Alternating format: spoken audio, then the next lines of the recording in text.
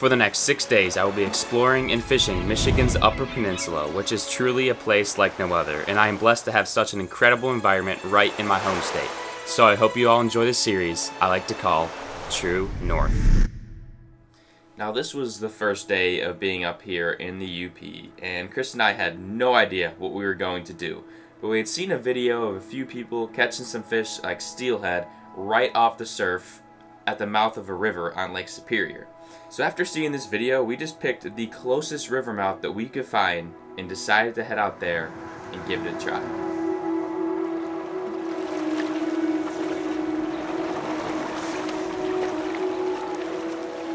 Uh, guys, this is by far the like top five best moments of my entire life. Like, look, this is just insane. I can't even believe what's going on right now. Well, this guy over here is catching freaking steelhead out here all the time. That's, I don't even, I just can't even like believe that, dude. That's insane. But I can't even describe like everything I'm seeing right now. This is just, this is literally a dream. I, I don't even know what's going on right now. I feel like I'm in Florida right now, but it's freezing. That's the difference.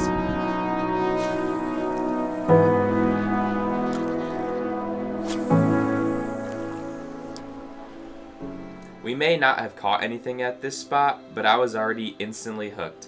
Surf casting Lake Superior had to be the coolest type of fishing I have ever done in my entire life, so we were definitely not done with that. And also the dude that was there before us told us that he caught two steelhead that morning, so we knew they were fishing the area. But later in the evening, we went to try another spot surf casting off the shore where it was like a hundred plus foot drop off right next to the bank, and people have noted to catch everything there, like lake trout, coho, splake, you name it.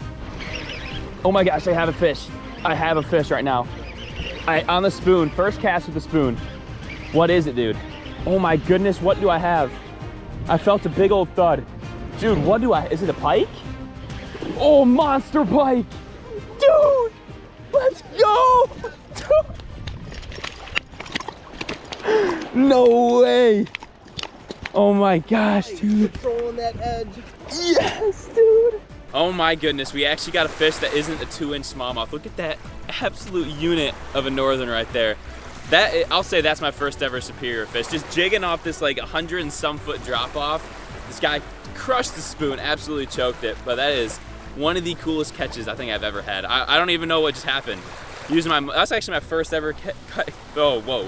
First ever catch on that muskie rod I just bought, but dude, that is wild. Hopefully we can get some more, maybe a Laker, anything really, but that's so sick. All right, he wanted to go. Dude, that is so sick. I don't even know what's going on right now. You say that other point over there to try? That second one. Second one? Yeah. Cool. I got it.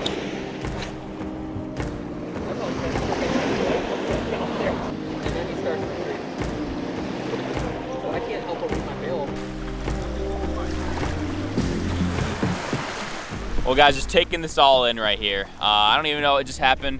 Met a DNR officer, coolest guy ever, Jack, if you're watching this. Big shout out to my boy.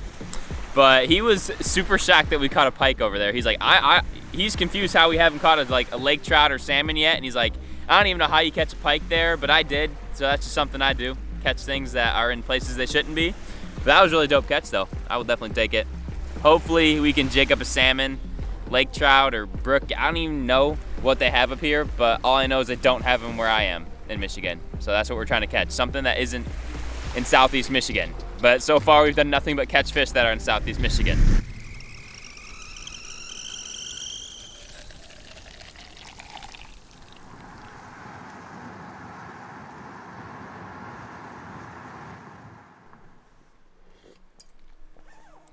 It's chrome time. We're gonna cast for some steelhead or coho or I don't even know. There's probably everything at the spot, but the dude was catching steelhead yesterday. So that's what we're like have in our minds, but we'll see what happens. Hopefully we just can hook into something.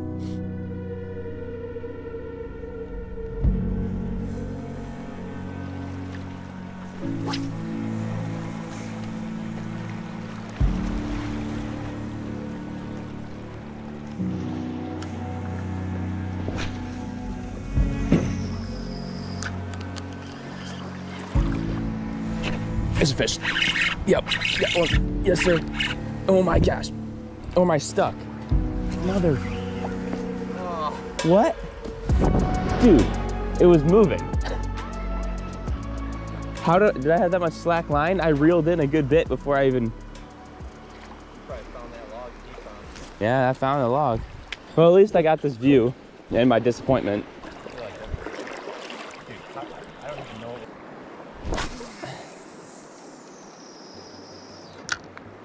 Dude, just look at how cool this is. Like, I'm waist depth in the water right now, just surf casting like it's the ocean, but it's Lake Superior, and I'm going for steelhead. Literally, you just can't beat. This is the coolest fishing I've ever experienced, and I just you can't beat it. It really is just something different.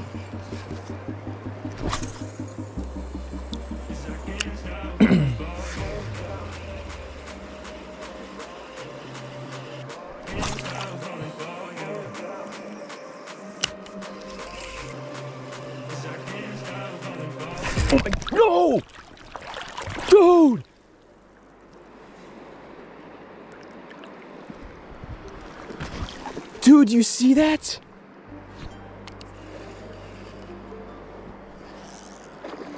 Dude, oh my gosh, it's right there.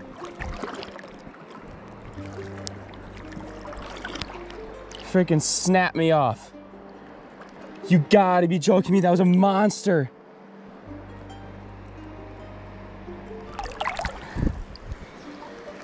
Oh my gosh, Chris. Snap me straight off. Dude, that was a monster. Well, guys, I'm gonna update you because I don't know what the heck just happened, but that was the thickest fish I've ever seen. And my leader knot slipped. So I don't even know. That was literally, I just, I hate losing fish, but when it's your fault, it makes it even worse. And like that was the, the most insane bite I think I've ever had in my entire life. I don't even know what just happened, but it's because of a stupid leader knot slip.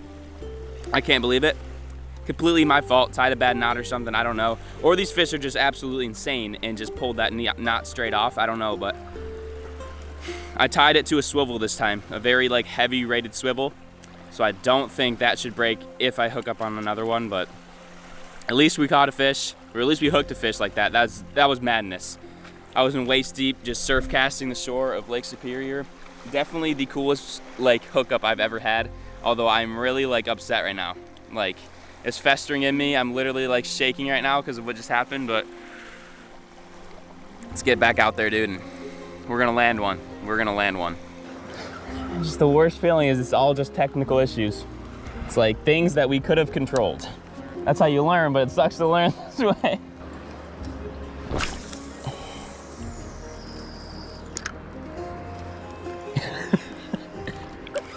oh my gosh, I, I touched bottom. I'm losing my mind right now, guys. so yeah, my uh, leader knot slipped, causing me to lose the fish that I wanted to catch so, so bad. And uh, it definitely stings a little. Who am I kidding? It, it definitely stings a lot, especially knowing that it was my fault. Like I tied a bad leader knot or something was wrong with that. It was a technical issue, so that just makes it hurt even that much more. But we're not gonna give up quite yet. We're gonna go back out there tomorrow morning and try to get some redemption on these fish.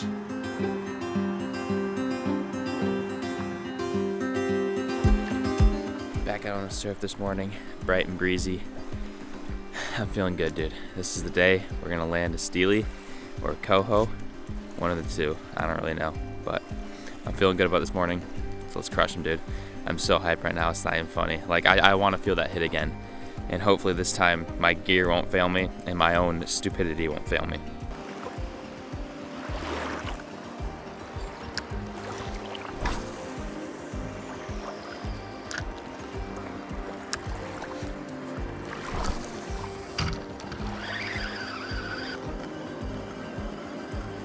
Yeah. Oh my!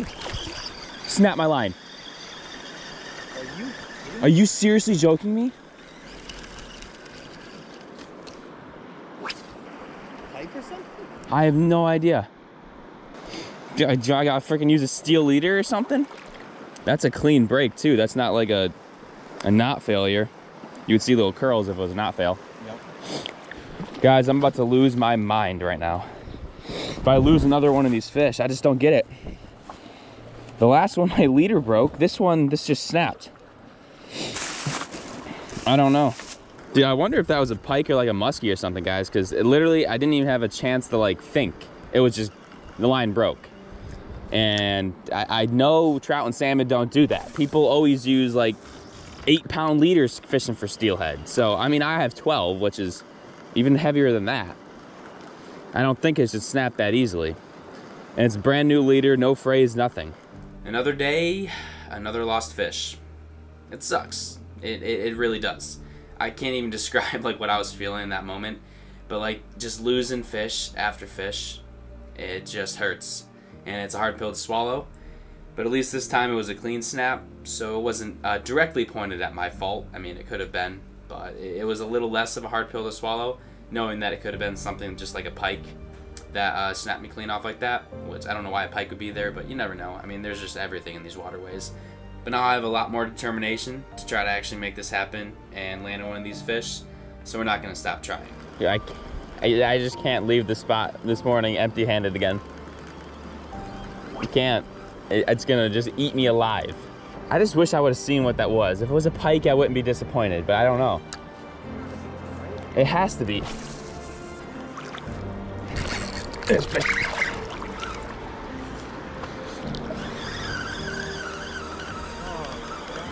I actually don't know if that was a fish or if I just hit something, but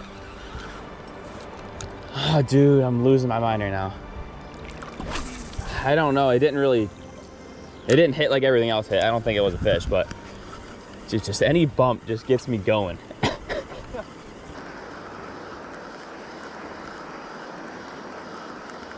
It is now evening, and we decided to try a new mouth of a river that we've seen people catch steelhead out of, and uh, heard from multiple people up here that this is a really good spot to try. But when we got there, the fishing was the last thing on my mind. All I wanted to do was just take in everything that beautiful spot had to offer. Truly just something like I've never fished at before.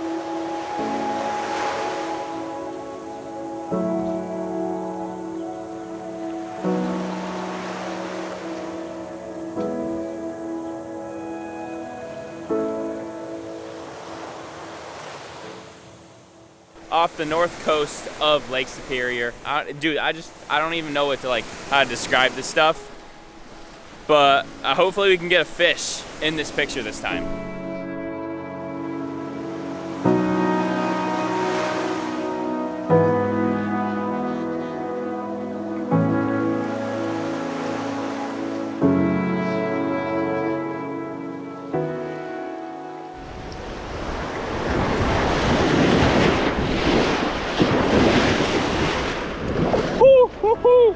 Like I said before, I didn't really even care if we caught a fish, and well, of course we didn't.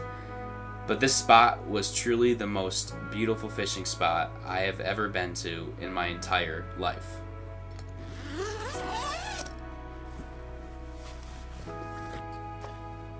Lake Superior, my kayak. I'm probably the only person dumb enough to do this, but it's super calm this morning, so I can't help myself. But to just go out to the middle of this bay and just uh, jig for lake trout, I guess. I don't, I don't even know, but we're gonna try. If I hook one up, I might be taking a trip to Canada, which would be sweet because I have a fish. There's like three other boats on the water, so that's all I need to know is that there's no boat waves and it is glass calm right now. So I am just pumped. I'm feeling good, something different. I'm my kayak, I'm in my zone. Dude, I am so hyped right now and I just, I have so much faith. Dude, this thing is sinking. It is deep right here. That's good. That's what you need to know. Dude, it is still sinking, holy moly. How deep is it here? Like 200 plus feet? Probably. Oh my gosh, we just hit bottom. That took a minute. I guess now we just jig? I don't know, maybe.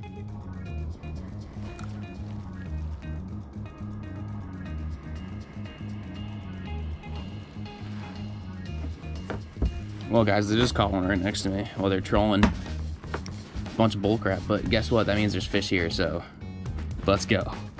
I'm ready for it, dude. I'm so ready to hook one out right now. Literally would be the coolest uh, fish catch in my entire life, and there's really nothing that could ever beat it. I don't, I don't see what could beat this.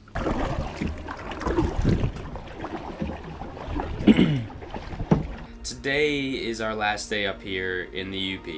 So we came back to the spot that we had all those bites and decided to give it one last try.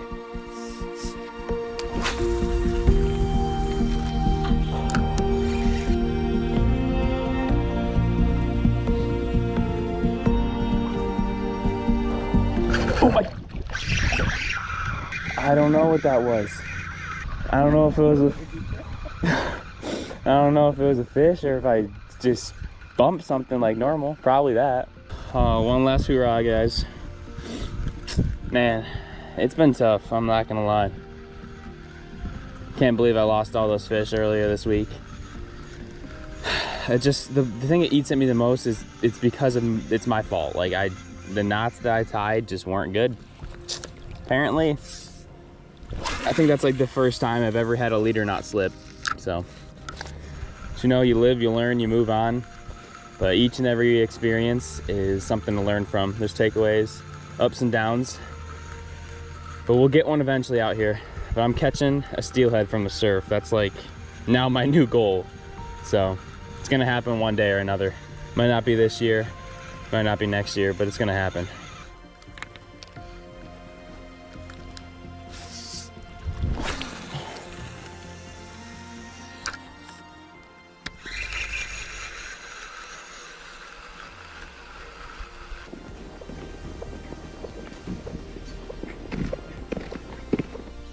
Well, that's where she ends. The surf casting mission comes to a close, but man, I'm just super happy that I was able to connect on a few fish. Like that was absolutely insane, that one bite I had. I don't know what it was, but it was a crazy big fish, crazy sweet fight. And that just got me hooked on the whole world of like steelhead and salmon and stuff because the way that thing pulled was unlike anything else before. So that was absolutely wild. Unfortunately, I wasn't able to land any of them, but you know, it's still just such a cool experience to be able to come out here and do this stuff, just something new. And to be able to even hook a fish, uh, that says a lot. Like knowing absolutely nothing about any of this stuff and coming up here and hooking a fish was definitely something to be noted. That was uh, that was pretty awesome. Well, we, we got one more video. The series isn't gonna end here yet. Uh, this is definitely more in my realm of knowledge. So hopefully it's gonna be a sweet video, but you're gonna have to stay tuned. So just subscribe so you don't miss the next one because I hope it's gonna be a heater. But if you did enjoy this one, be sure to leave a fat thumbs up. And as always, folks, fish with passion. Holy mother of pearl, that's a muskie. Literally a muskie's right in front of me right now. I don't even know what to do. I don't even know what to do. A muskie just surfaced right in front of me. Uh-oh. Can somebody come and save me? I just wanna know. I wanna know.